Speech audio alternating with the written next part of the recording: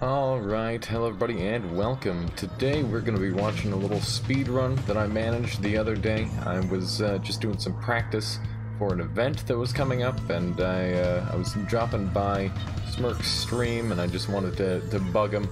Told him that I was going to go and take the world record for any percent, which is what we were going to be racing the following day. I thought it was kind of a, a funny joke.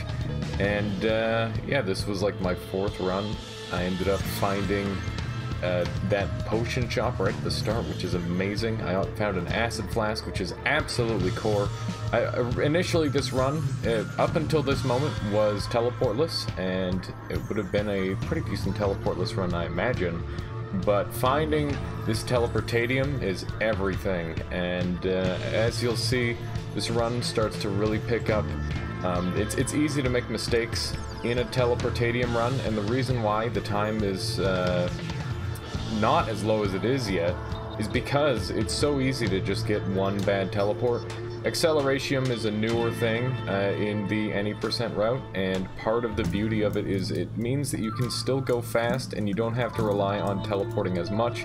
You can find these quick drops much, much easier, and uh, you, will find that I'm not teleporting nearly as often as you would see in a standard um, any percent run because I've got this uh, ability to go as quickly as I do, so I, I attribute uh, all of this extra speed to finding these acceleration flasks, which is really nice.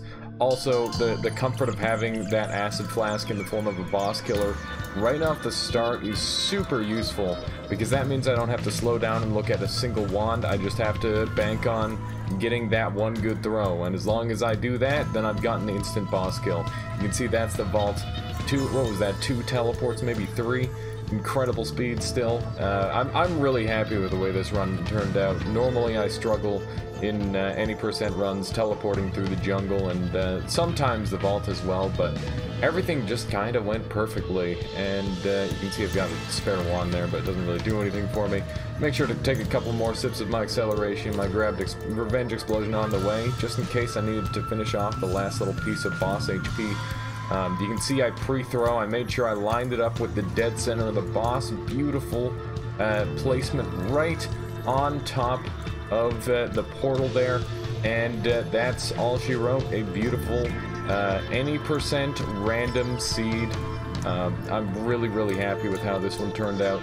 So thank you very much for watching. I hope you enjoyed. Feel free to hit the like button. Find runs like this live uh, at my Twitch channel. I'll go ahead and leave the link in the description down below and I'll catch you next time.